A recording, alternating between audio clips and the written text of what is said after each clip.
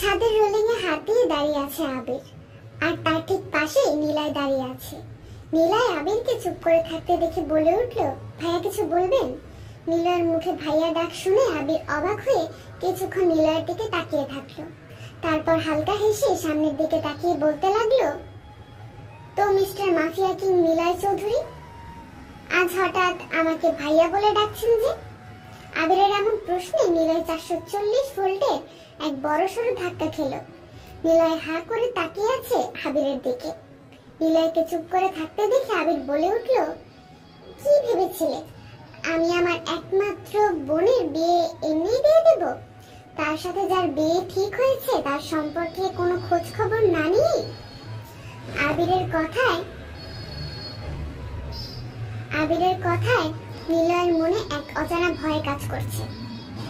তিথিকে হারানোর ভয়। তাহলে কি আবেগ তিথির সাথে নিলয়ের বিয়ে হোক সেটা সে চায় না? না না, এটা হতে পারে না। তাহলে বাঁচবে কি করে নিলয় সে তো না, আর কিছুই ভাবতে পারছে না নিলয় যাই হয়ে যাক না কেন, সে তার তিথু পাখিকে ছাড়া বাঁচতেই পারবে না। নিলয়ের ভাবনাকে ছেদ ঘটিয়ে নিলয়ের ভাবনাতে ছেদ ঘটিয়ে দিয়ে আবির বলে উঠল। এত অবাক হওয়ার কিছুই নেই। আমি তোমার ব্যাপারে সবকিছুই জানি। আর এটাও জানি তুমি বুড়িকে ভুল করে অন্য মেয়ে ভেবে কিডন্যাপ করেছিলে। আর এক সপ্তাহ নিজের বাড়িতে আমার বোনকে আটকিয়ে রেখেছিলে। কি, ঠিক বলছি তো আমি? আচ্ছা একটা কথা বলো তো, তুমি আমার বোনকে বিয়ে করতে চাও কেন? কি উদ্দেশ্য আছে তোমার দিদিকে বিয়ে করার পেছনে? এতক্ষণ চুপ করে থাকলেও এবার নীলয় আর চুপ করে থাকতে পারল না। আবিরের দিকে তাকিয়ে বলতে লাগল প্রথমত আমি আপনাকে ভাইয়া বলে ডাকছি। তার কারণ হলো, আপনি আমার থেকে দুই বছরের বড়। আর রইল বাকি উদ্দেশ্য। হ্যাঁ ঠিক বলেছেন আপনি। দিদিকে বিয়ে করার পেছনে খুব বড় একটা উদ্দেশ্য আছে আমার। নীলয়ের কথায় আবির কিছুটা অবাক হয়ে গেল। তারপর নিজেকে সামলে নিয়ে নীলয়ের দিকে তীক্ষ্ণ দৃষ্টিতে তাকিয়ে জিজ্ঞেস করল, কি বলতে চাইছো তুমি? দিদিকে বিয়ে করার পেছনে তোমার কি উদ্দেশ্য আছে? নিলয় কিছুটা হেসে জবাব দিল, নিজের ভালোবাসা দিয়ে তিথিকে সারা জীবন আমার মনের গহিনে ভালোবাসার শিকল দিয়ে বন্ধনী করে রাখতে চাই।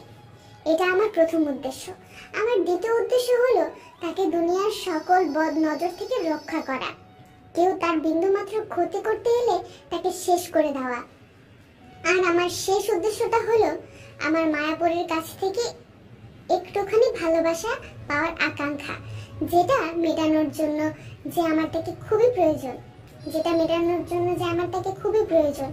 অবশ্য এটা নিজের স্বার্থের জন্যই বলতে পারেন। ভাইয়া জানেন ভালোবাসা কি? তা আমি কোনোদিনই জানতাম না। বলতে পারেন কোনোদিন উপলব্ধি করার চেষ্টাই করিনি। ছোটবেলায় বাবা মাকে হারানোর পর ভালোবাসার প্রতি একটা তিক্ততা জন্ম নিয়েছিল আমার মনে। কিন্তু বিশ্বাস করুন, আমি কোনোদিন জানতামই না যে আমার মনের এই তিক্ততা দূর করতে কেউ একজন আসবে আমার জীবনে। যার ছোঁয়ায় এবং ভালোবাসায় আমার মনে জন্ম নেবে ভালোবাসার কোনো এক নতুন অধ্যায়। হ্যাঁ ভাইয়া, তিথিকে আমি ভুল করে তুলে নিয়ে গেছিলাম ঠিকই, কিন্তু আমি সত্যি তিথির কোনো ক্ষতি করিনি। আর তখন আমি জানতামও না যে এই মেয়েটা আমার মনে জায়গা করে নেবে। তাও আবার নিজের দুষ্টুমি, মন ভোলানো কথা দিয়ে। এইটুখানি বলেই নিলয় কিছুটা হাসলো, তারপর আবার বলতে লাগল তার ছোটখাটো দুষ্টামিগুলোকে কখন যে আমি ভালোবেসে ফেলেছিলাম তা আমি নিজেই জানি না।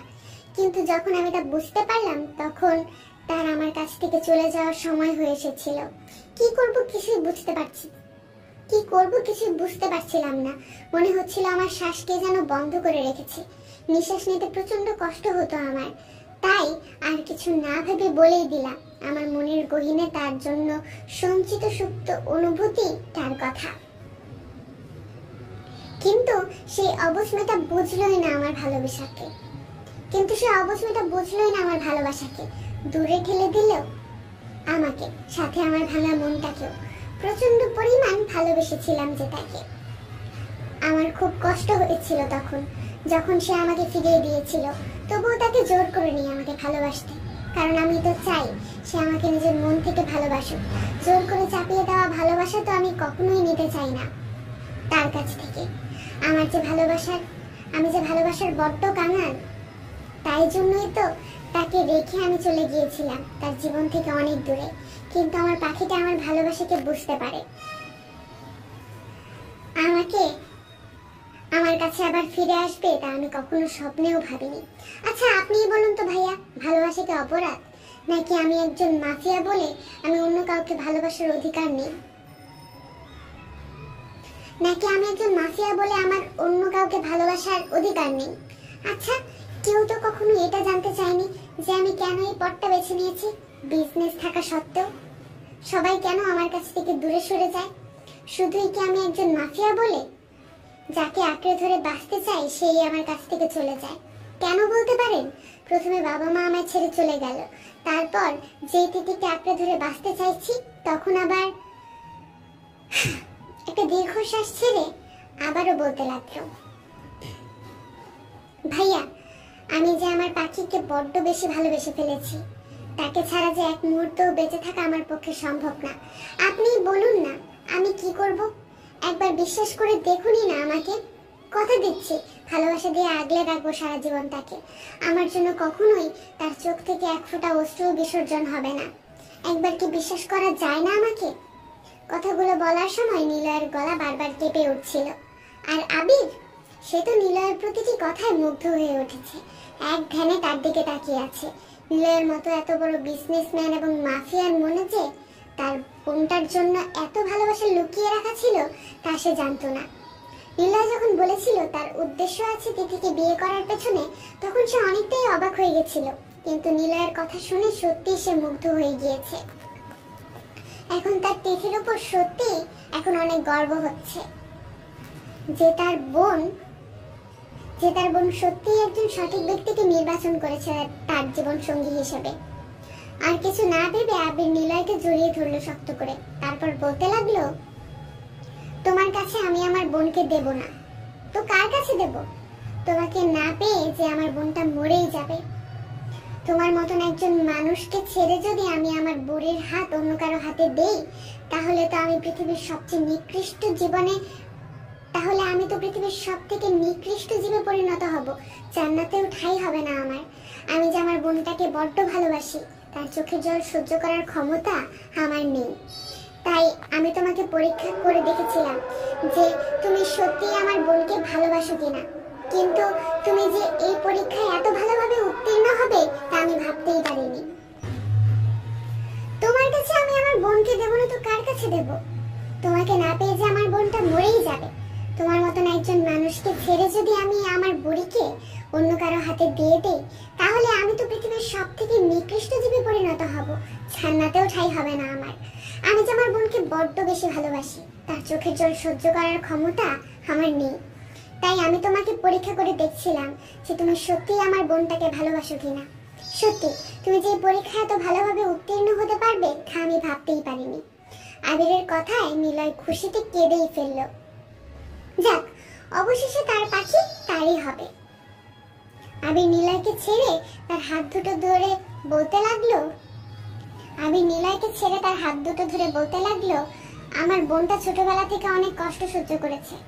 যখন তার তিন বছর, তখন ফুপি তাকে একা করে চলে যায়। আমাদের সবাইকে ছেড়ে চলে গিয়েছে। যখন তার মাত্র তিন বছর, তখন ফুপি তাকে একা করে দিয়ে আমাদের সবাইকে ছেড়ে চলে গিয়েছে। ফুপি সুইসাইড করেছিল। অবশ্যই বাবা ফুপির মৃত্যুকে সাধারণ সুইসাইড হিসেবে মেনে নেয়নি। তাই ফুফির তাই ফুপার বিরুদ্ধে কেসও করেছিল। কিন্তু কেসে বাবা হেরে যায়। তিথিকে নিজের কাছে রাখতে তিথিকে নিজের কাছে রাখতে চাইলে ফুফা পরিষ্কার না জানিয়ে দেয়। ফুপির মৃত্যুর এক মাসের মধ্যেই ফুফা আরও একটা বিয়ে করে। অবশ্য আমরা তখন এই বিষয়ে কিছুই জানতাম না। একদিন বাবা তিথির সাথে দেখা করতে ফুপার বাসায় যায়। বাসায় গিয়ে দেখে তিথি মেঝেতে পড়ে গড়াগড়ি করে খাচ্ছে আর কাঁদছে। মাথা ফেটে মাথা ফেটে গিয়ে রক্ত বের হচ্ছে অনেকখানি। আর ফুফা আর তার সো কল্ড ওয়াইফ ডাইনিং টেবিলে বসে খাচ্ছে আর গল্প করছে। এমন ঘটনা দেখে বাবা প্রচণ্ড রেগে যায়। তারপর তিথিকে নিয়ে হসপিটালে ভর্তি করিয়ে দেয়। তিথি সুস্থ হয়ে যাওয়ার পর অনেক কষ্টে অনেক ঝামেলা করে বাবা তিথিকে আমাদের বাসায় নিয়ে আসে। ফুফা তিথিকে কিছুতেই ছাড়তে চাইছিল না, কিন্তু বাবা পুলিশের ভয় দেখিয়ে তিথিকে তার কাছে কিন্তু বাবা পুলিশের ভয় দেখিয়ে তিথিকে তার কাছ থেকে নিয়ে আসে। বুড়ি যখন আমাদের বাসায় আসে, তখন সে খুবই ছোট। সেখান থেকে বুড়ি আমাদের সাথে আছে। কোনোদিনও কোনো দিনের জন্য তাকে আমরা বুঝতে যাইনি যে তার এই পৃথিবীতে কেউ নেই। তাকে আমরা ভালোবাসা দিয়ে আগলে রেখেছি সারাক্ষণ। এক ফোঁটাও পড়তে দেয়নি তার চোখ থেকে পানি। এক ফোঁটা পানিও পড়তে দেয়নি তার চোখ থেকে। যখন যা চেয়েছে তাই পূরণ করেছি আমরা হাসি মুখে। বাবা, মা সবসময় তাকে নিজের মেয়ের মতো ভালোবেসে এসেছে। আর আমি তাকে নিজের ছোট বোন। তাই আমি চেয়েছিলাম আমার বোনের হাত এমন একজনের হাতে তুলে দিতে যে আমার বোনকে নিজের সবটুকু দিয়ে ভালোবাসবে। আর আমি পেয়েছি এমন একজন লোককে যার কাছে আমি আমার বোনকে দিয়ে শান্তিতে থাকতে পারব চিন্তা মুক্ত হতে পারব। কারণ আমি জানি সে থাকতে কোনোদিন আমার বোনের কোনো ক্ষতি কেউ করতে পারবে না। আর সেটা আর অন্য কেউ না, তুমি। কথা দাও, তুমি আমার বোনকে আগলে রাখবে সমস্ত বিপদ থেকে। তিথির বাবার বর্বরতার কাহিনী শুনে নীলয় প্রচণ্ড রাগ ধরল তিথির বাবার উপর। আবার তিথির উপর মায়াও জন্মালো। নীলায় আবিরের দিকে তাকিয়ে বলতে লাগল, নিজের রক্তের শেষ বিন্দু পর্যন্ত আমি তাকে আগলে রাখব। আল্লাহ ব্যতীত কেউ তাকে আমার কাছ থেকে আলাদা করতে পারবে না। কথা দিলাম। Thank you thank you so much এবার চলো নিচে যাই। সবাই হয়তো চিন্তা করছে এতক্ষণ। তারপর তারা নিচে নেমে গেল। কিন্তু নিচে নেমে নীলায় দেখল তিথি তার পেছনে। নিচে নেমে নিলয় দেখল তিথি তার দিকে তাকিয়ে আছে। তিথিকে দেখেই বোঝা যাচ্ছে সে প্রচণ্ড ভয় পেয়ে আছে। বাকিটা নেক্সট পর্বে।